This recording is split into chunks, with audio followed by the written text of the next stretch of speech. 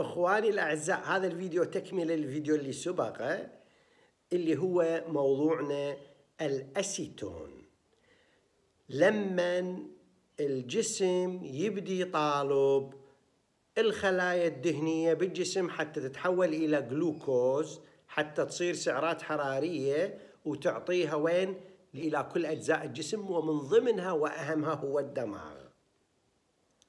فايش راح يصير عندك؟ راح يصير عندك process وقلنا ال process هو بطيء ومن ينطيك طاقة ما ينطيك إياها هواية ينطيك إياها قليلة مجرد على مود تعيش. للأسف إن حرق الدهون لتحويلها إلى جلوكوز راح يخلف بعض الفضلات. هاي الفضلات هي ثلاث أهم عناصر بيها. المي راح ينطرد عن طريق المثانة كإدرار وثاني أكسيد الكربون راح ينطرد عن طريق التنفس وبعض المعادن الأخرى القليلة مو مركزة لكن عندك مشكلة هي زيادة الأسيتون بالدم.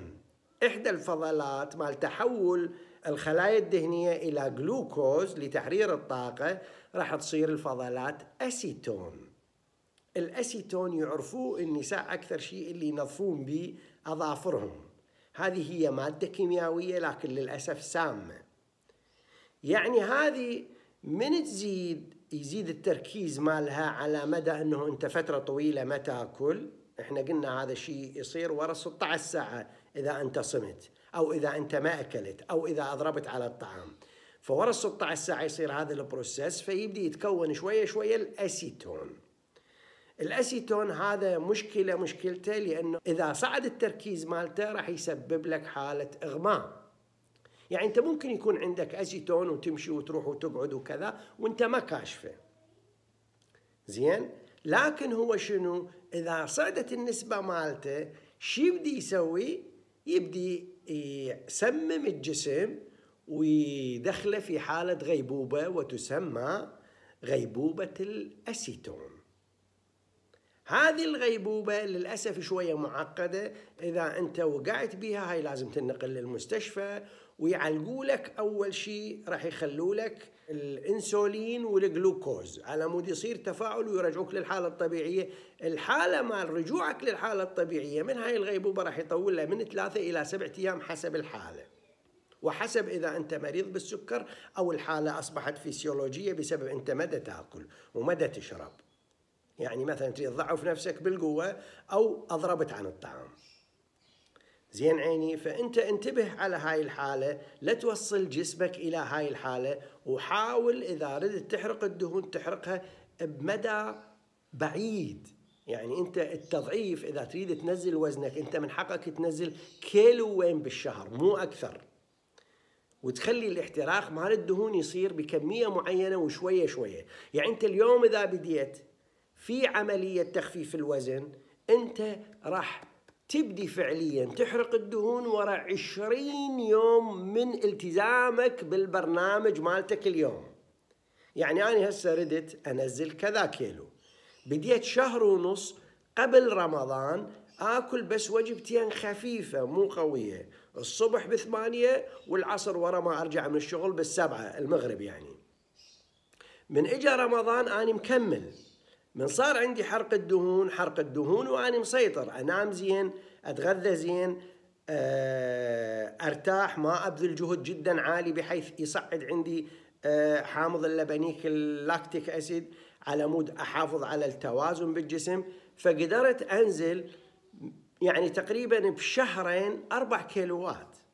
أنا هسه أحس نفسي كلش مرتاح بس طبقتها بعلمية وأني ما ناقص من عندي ولا ضايج ولا دايخ ولا متعصب بالعكس رجعت صرت اهدى وهذا الشيء يخليك تفكر إنه أنت تنزل كيلوين بالشهر مو أكثر. حتى خلايا جسمك كلها تتكيف له بصورة طبيعية وما يصير عندك ترهل بالجلد ولا يصير عندك تعب بالأعضاء مال جسم الإنسان.